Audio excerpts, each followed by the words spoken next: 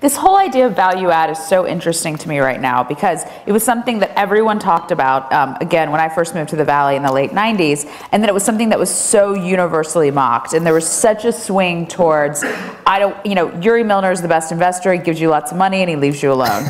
and you never have to hear from him, and you never have to give up a board seat. I mean, there was just such an extreme reaction. And I think a lot of that came from the more experienced entrepreneurs who may not have needed a lot of hand holding, but it got sort of repeated by a lot of early stage entrepreneurs who thought, you know, well, I don't want to get fucked over. This is the way you do it. And you know, I mean, I can say as a first time entrepreneur, I, have leaned on my board and investors quite heavily because there's just a lot that I don't know. And there, but, but it's different for different entrepreneurs, and that's okay. Mm-hmm. You know, we have, you know, Garrett Camp. We funded four companies. You know, StumbleUpon the first time, mm-hmm. then StumbleUpon when he bought it out of eBay, then Uber, and now Blackjet. Like we funded him four times. Like he's been around he doesn't need to call us on a lot of these things, right? right? You know, so you know, every you know, and everyone, you know, we're not sitting here trying to impose a level of service or you know, I must deliver value for you today, right. whether you want it or not. We're just trying to figure out how can we uh, assemble the you know, what do we hear from our customers, and how could we deliver value to help them win?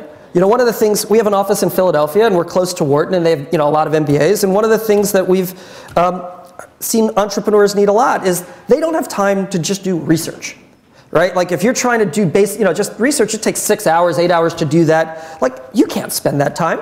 And your board member is really not going to go do that. So we built a product, uh, a product called Venture Concierge, mm-hmm. where we now have five Wharton MBAs who all worked in consulting before, so they charge thousands of dollars for this project um, where you could post to the venture concierge and say, I need someone, I need help doing market sizing, or could someone help figure out which Fortune 500 companies don't have Pinterest accounts, or like just, you know, stuff like that. And these consultants do that. And it works very well because these Wharton folks want to be able to put on their resume, and they should, that they're a venture consultant. Mm-hmm. And, and so we're able to leverage our brand and our access to sort of, they're not doing it for the money, they're doing it for the experience and the connectivity to the companies. And the companies don't have to go out, you know, so we get you know, five to 10 requests every week or two on, uh, from these con- you know, concierge requests where we could sort of figure out how can we leverage, you know, what product can we build to solve a need. Right. We have companies that have used it 10 times, and we have companies that have never used it, and that's fine for us. I mean, I know you're not trying to impose it, but I feel like beyond just you guys, I feel like industry wide, there's this whole push right now to once again prove that you can add value because there's so much money in every stage. I mean, the real appeal when we had sort of the last sort of pause between cycles was there's no one doing pre-IPO growth, which is where, you know, Yuri came in. There's no one doing this gap between, you know, very small angel amounts and venture capital, which is where you guys and a bunch of others came in. It's like there's not this financial structural gap anymore. And so people are seem to be really trying to you know, create these new inflection points around service and around adding value. But it's a tricky thing because it sounds so vague. It's not like saying we can give you $2 million where a VC can't.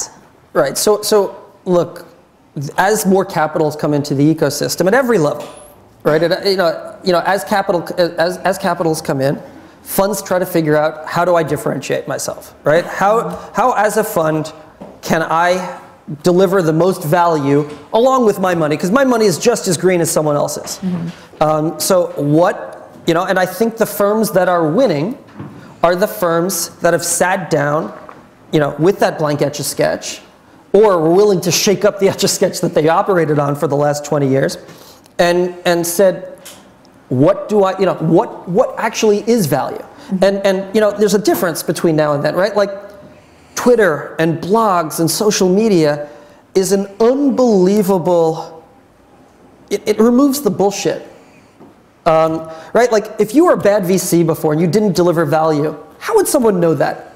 You know, Red Herring magazine, Upside magazine, like there was no, you know, you know, right now, if I'm a jerk to an entrepreneur in a meeting, he's, he or she is tweeting that out. You know, no, they're not. You'd be, You'd be Come surprised. on. If someone needs you for money and you have written them a check, You'd be their surprised. business is in their hands, they're not going to walk out of a meeting and be like, he was a dick today. You'd be surprised, you know, you have, you have things like TheFunded. you'd be surprised how transparent people are. Um, the level of, of, of when, whether someone is value add or not, whether someone behaves well or not, You know, I've seen blogs call out other VCs. You know, I've seen angels write blogs saying this VC, you know, took a pitch meeting and then funded, and they named the VC and then funded a competitor. Like, you know, you're seeing sort of far more transparency than ever before. Um, and and so, you know, as the information gets more transparent, um, you know, I, I think that also sort of helps entrepreneurs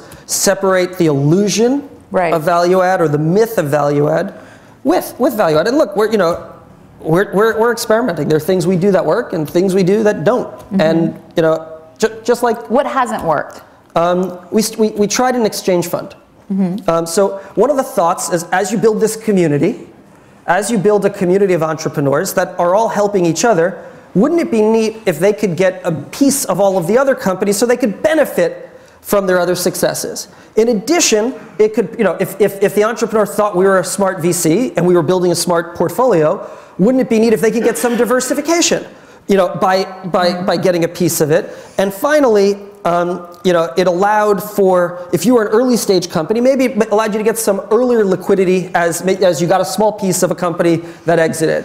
Um, you know, so we put this together and we said it was totally voluntary. You know, any company that we'd funded had the opportunity to contribute. The founder would have the opportunity, small amount, like Yeah. less than two percent of their holdings could go into this fund if they wanted to, and we would operate it. Not we wouldn't make we wouldn't charge a fee or carry. It would basically be, you know, we have a fund that a bunch of smart LPs thinks will do well. Here, you could get into that fund without without writing a check with no fee and no carry. We thought it would make sense, but what we found was the compliance hassles of getting every board of directors to agree to waive the right of first refusal, to contribute shares and not. And then you had some of the companies that were like getting ready to exit or thought they were going to exit in the next year. Like, well, why would I contribute when I'm going to exit soon and get, you know? So what ended up happening was the friction to do it. We just said, you know, there are better ways to, to add value.